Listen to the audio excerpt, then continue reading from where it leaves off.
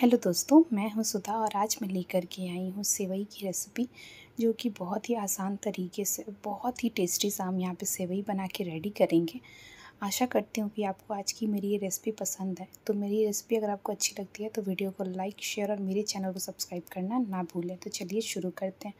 तो सेवैयाँ बनाने के लिए हम यहाँ पर एक बर्तन रख देंगे, जिसमें हमें सेवई बनानी है और इसमें हमें घी डाल देना है। घी जैसे ही मेल्ट हो जाएगा ना इसके अंदर हम कुछ ड्राई फ्रूट्स डाल देंगे, जैसे कि मैं यहाँ पे आलमंड बादाम ले ली हूँ और काजू ले ली हूँ और किशमिश ली हूँ। तो पहले हम बादाम और काजू को भून लेंगे।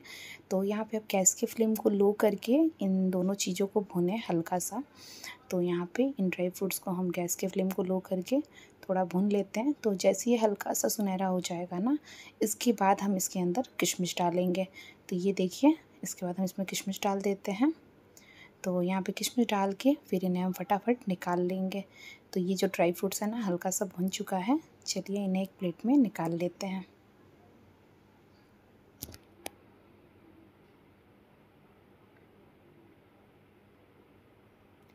तो इन्हें इस तरह से निकाल के हम ड्राई फ्रूट्स को भुन के रेडी कर लिए हैं, ये देखिए। इसके बाद हमें सेम इसी पैन में क्या करना है, यहाँ पे हम सेवइयों को ले लिए हैं। तो यहाँ पे हम एक पैकेट सेवई का यूज़ कर रहे हैं। सेवई को हम डाल देंगे और घी में ही अच्छी तरह से भून लेंगे। तो यहाँ पे हम इसे अच्छी तरह से गोल्डन ब्राउन कलर आने तक सेवइयों को हमें अच्छी तरह से भुनना है। तो इन्हें दोनों तरफ़ से अच्छी तरह से चलाते हुए गोल्डन ब्राउन कलर आने तक हम सेवइयों को अच्छी तरह से एकदम भून लेंगे। तो अभी इसका कलर कुछ ऐसा दिख रहा है। ये भुनने के बाद से बहुत ही अच्छा सा डार्क कलर में आ जाएगा। तो अब सेवैयों को भी लो फ्लेम पे ही भुनें। लो फ्लेम पे इन्हें भी हमें भुनना है। लो टू मीडियम फ्लेम कर दें और सेवइयों को अच्छी तरह से भून लें। और क्या करें ना आप अभी एक साइड में दूध रख दें। दूध थोड़ा गर्म हो जाएगा ना, उसके बाद हम इसके अंदर ऐड करेंगे। तो ये देखिए, जो सेवैयाँ हैं ना, ये अच्छी तरह से भुन चुकी हैं। मैं यहाँ पर एक उबाल आने तक दूध को बॉईल कर ली थी। अभी यहाँ पे सेवैयाँ भुन गई हैं। भुनने के बाद से अब हम इसी में क्या करेंगे ना, ये उबला हुआ दूध डाल देंगे। तो दूध भी हमारा गर्म ही है। मैं अभी जस्ट इसे बॉईल की और बॉईल करके फिर मैं इसे सेवई में डाल रही हूँ। आप चाहे तो डायरेक्टली दूध को भी डाल सकते मैं एक बार इसे बॉईल करने के बाद डाल रही हूँ।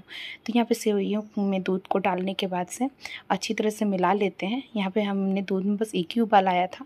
अभी हम दूध को थोड़ा अच्छी तरह से, थोड़ा समय लेते हुए बॉईल कर लेंगे। तो यहाँ पे आप पाँच मिनट तक दूध को अच्छी तरह से हाई फ्लेम पर ना चलाते हुए अच्छी तरह से उबाल लें। तो ये देखिए, दूध जो है हमारा ना, अच्छी तरह से उबलना शुरू हो गया है। इन्हें थोड़े टाइम के लिए अच्छी तरह से पहले हम उबाल लेंगे। तो इस तरह से चलाते हुए आप सेवैयों में दूध को अच्छी तरह से उबाल लें। तो ये देखिए, चलाते हुए और थोड़ा सा बॉईल करेंगे।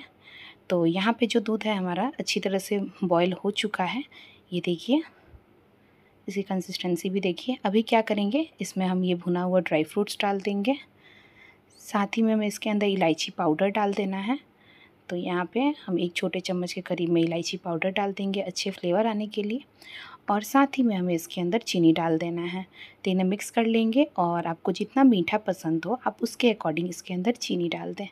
तो यहाँ पे हम चीनी डाल देते हैं। ये देखिए, चीनी को डाल के अच्छी तरह से मिक्स कर लेंगे और थोड़ा टाइम के लिए और पका लेंगे। और इस तरह से पकाने के बाद से ये देखिए, हमारी ये सुपर टेस्टी जो सेवई है ना, ये बन के तैयार है। तो चलिए इसे गर्मा गर्म एक कटोरी में सर्व कर लेते हैं। तो आपको आज की मेरी सेवई की रेसिपी कैसी लगी कमेंट बॉक्स में ज़रूर बताएँ। रेसिपी पसंद आई हो तो वीडियो को लाइक शेयर और मेरे चैनल को सब्सक्राइब करना ना भूलें। Thanks for watching